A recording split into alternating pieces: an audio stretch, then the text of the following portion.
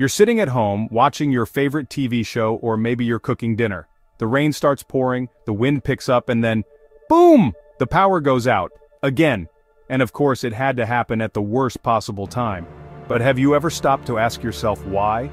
What is it about rain that seems to bring power to a standstill? Is it just the wet power lines? Is it lightning? Or could there be a bigger reason? The answer might surprise you. While rain and lightning can sometimes play a role, one of the biggest yet most overlooked reasons for power outages during rainy weather is trees near power lines. Yes, trees.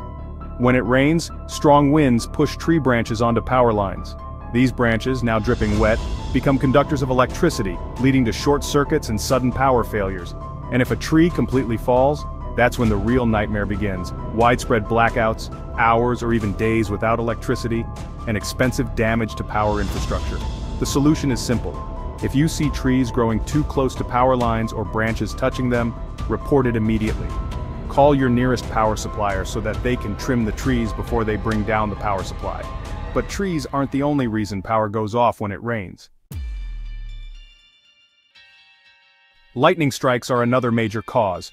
When lightning directly hits a power line, transformer or substation, it can overload the system, triggering automatic shutdowns to protect the network. While this type of outage is unavoidable, power companies install lightning arresters to minimize the damage. Water short-circuiting electrical components is another hidden culprit. While power lines are designed to withstand harsh weather, heavy rain can seep into transformers, insulators, and underground cables, leading to electrical faults. In estates and residential areas, residents can help by ensuring that drainage systems are well maintained to prevent water from pooling around underground power lines. Standing water can cause short circuits, which lead to outages that can take hours or even days to fix. Strong winds and storms also play a role. Have you ever seen power lines swinging violently during a storm? That movement can lead to wires touching, sparking, or even breaking.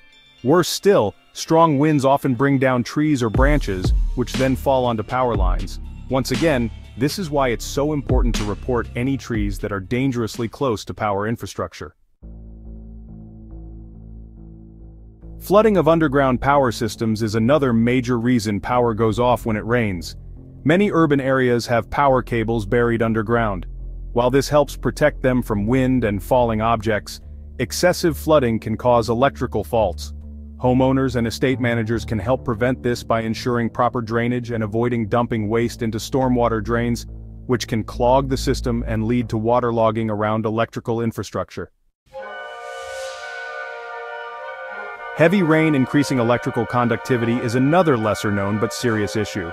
When rainwater mixes with dust, pollution and debris, it can create an unintended path for electricity to travel.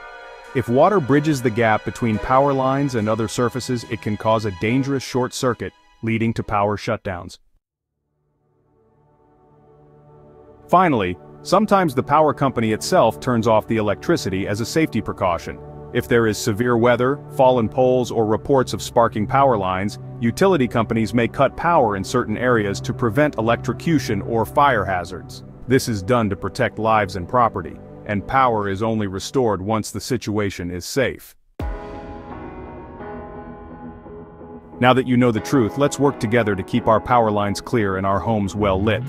If you see trees touching power lines, report them. If you live in an estate or a gated community, ensure that drainage is well done to prevent water from flooding underground cables. Every small action we take can help keep the lights on. If you found this helpful, don't forget to hit that subscribe button and turn on notifications. There's so much more to learn, and we'll keep breaking down all the why questions you've always wanted answers to, right here on the Why Corner.